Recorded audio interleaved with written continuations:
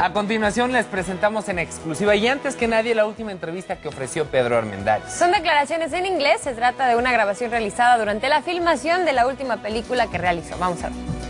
Casa de mi padre. La casa de mi padre es la última cinta que filmó Pedro Armendáriz Jr. y se estrena en nuestro país este próximo 11 de mayo. ¿Dónde has estado, Armando? Estábamos pastoreando el ganado.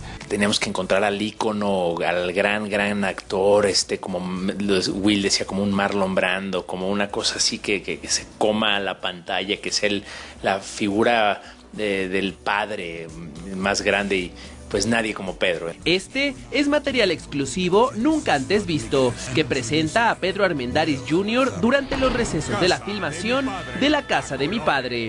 I am the father of Armando, Farrell, the father of Raúl, Diego Luna. And I'm the owner of this huge, beautiful ranch. I think making films all over the world is exactly the same. What I love about, about making films is that a whole bunch of guys are working during four, five, six, seven months for one day, one lady in white tie arrives at the set and says, Are you guys ready? Yes. Camera, go.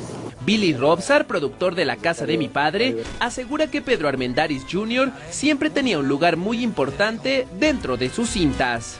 Para nosotros Pedro siempre era el pilar de cualquier proyecto, era muy chistoso porque si lo analizas, pues Matando Cabos es Oscar Cabos, en Navidad es Santa Claus, siempre es como el personaje que viene a detonar eh, algo importantísimo en la película y en este caso pues no es, no es la excepción, ¿no? La premier de esta cinta será a lo grande este próximo 23 de abril en el Teatro Metropolitan y se contará con la presencia de Will Farrell, Gael García y Diego Luna. Esperamos, esperamos sea la, la película más taquillera del año. Eh, vamos, como dices tú, vamos con todo. Vamos a sacar 500 copias, que es un estreno muy ambicioso. Y Metropolitan se vestirá de gala. Yo no sé por qué es lenta la tortuga. No sé. Televisa Espectáculos, Jorge Ugalde.